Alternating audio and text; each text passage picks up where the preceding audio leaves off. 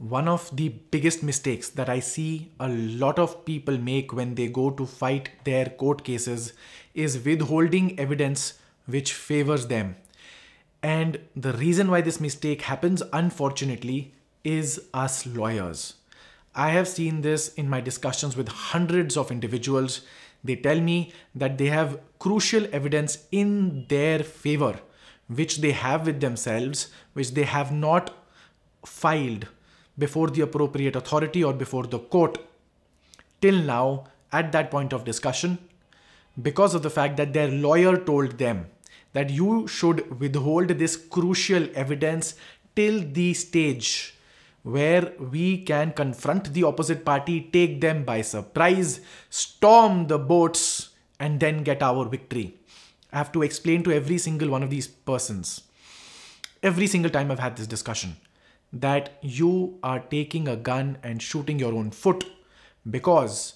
every time in courts of law, whenever you produce evidence which you had in your possession on an earlier occasion and you submit it at a much later stage, the court looks at it with utmost suspicion. There is a huge doubt in the mind of the court that you have fabricated these documents at a later stage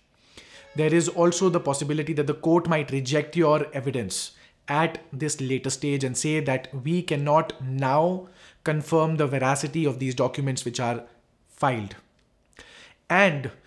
in civil matters, a step ahead, you have to file an application under the Civil Procedure Code and you must convince the court on not just the fact that these documents are relevant, important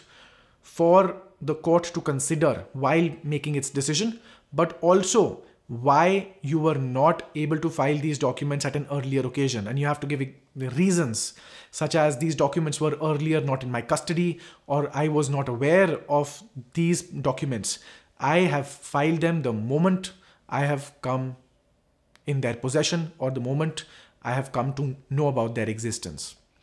Because of the aforementioned reasons, it is very, very important that you file at the initial stage itself all the evidence which favors you,